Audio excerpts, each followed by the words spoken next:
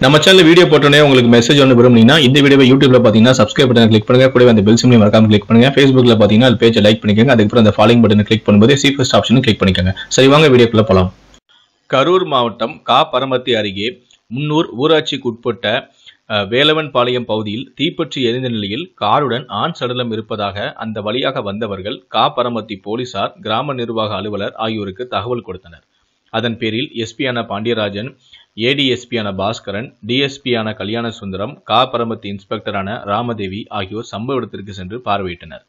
அப்போது அங்கு காரின் பின் சீட்டில் ஒருவர் கருகிய நிலையில் இருந்து கிடந்தார். அவர் யார் எந்த ஊரைச் சேர்ந்தவர் என்று போலீசார் விசாரணை நடத்தினார்கள். காரின் பதிவு எண்ணை கொண்டு விசாரித்த போது அவர் கரூர் நொய்யல் குறுக்கு சாலை ரயில்வே கேட் பகுதியில் வசித்து வந்த மணி என்கிற ரங்கசாமி என்பதும் பாக்குத்தட்டு தயாரிப்பு நிறுவனம் நடத்தி வந்ததும் தெரியவந்தது.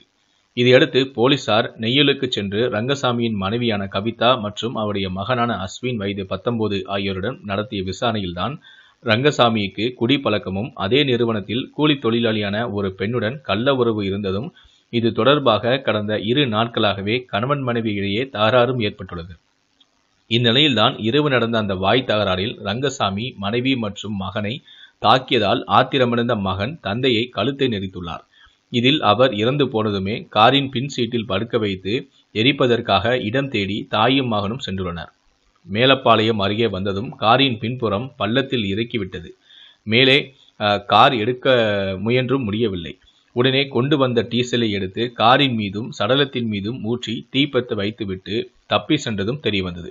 இது குறித்து கா. பரமத்தி போலீசார் வழக்கு பதிந்து இருவரையுமே கைதும் செய்தனர்.